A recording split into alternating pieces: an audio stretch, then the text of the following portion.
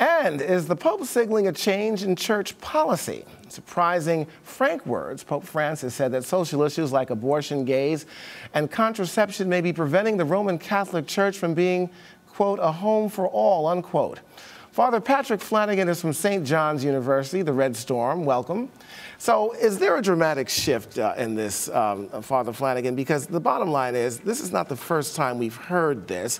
Pope Benedict also said the same thing, but for some reason or other, this Pope, this Pope Francis, is getting a lot of headlines for this. Well, I think he's getting a lot of headlines because I think people are very excited about the fact that he's meeting the people where they're at. He's understanding who he himself is, who he is, who his God is, and what he's about, and what he doesn't know, what he does know. There's so something refreshing about his humility, his simplicity. There's a freshness.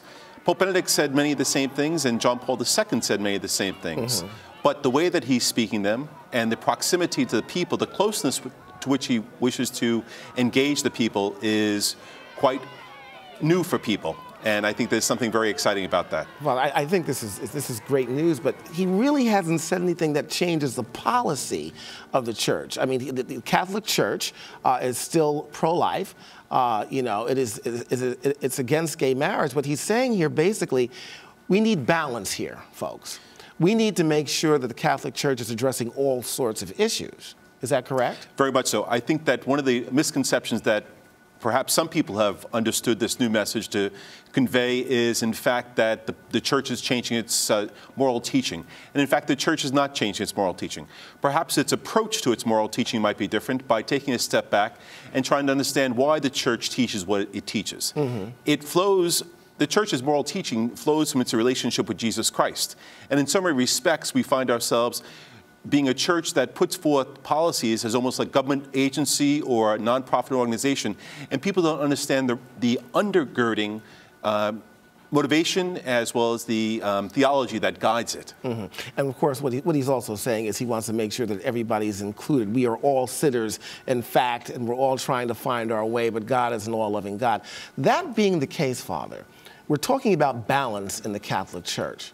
You've been here since the beginning of this program. We've, we've witnessed uh, tragedy all over. Uh, terrorists uh, attacking malls in, in, in Nairobi, Kenya, uh, a Christian church in Pakistan being bombed, so on and so forth. What other things uh, is the Catholic Church going to address uh, and, giving balance to, to social issues in the world? I think there's a sensitivity that the Pope is calling the global community to, that we need to treat each other with the dignity that God has given them mm-hmm. and to reach out to others, particularly those who are poor and those who are marginalized.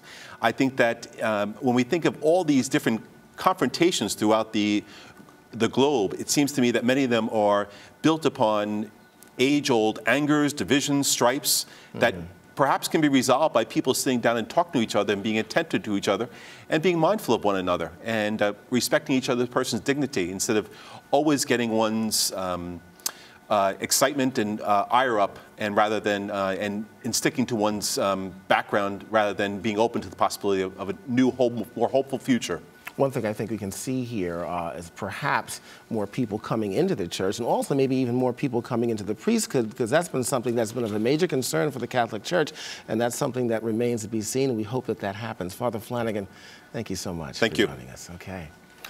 When Arise Review continues, we'll look at the brinkmanship that's playing out in Washington, D.C. over the U.S. budget. Stay with us.